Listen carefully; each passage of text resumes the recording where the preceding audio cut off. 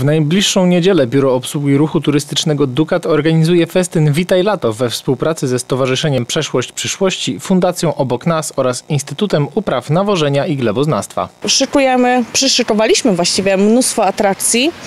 Y, Będzie występować również Dodel, zespół pieśni i tańca, będą magicy, będą e, dmuchańce dla dzieciaczków, e, będzie drill, będą zespoły disco polo. Planujemy bardzo taką fajną dyskotekę. Komary obiecały, że dadzą wolne, także mam nadzieję, że nas tutaj nie będą bardzo nam dokuczać.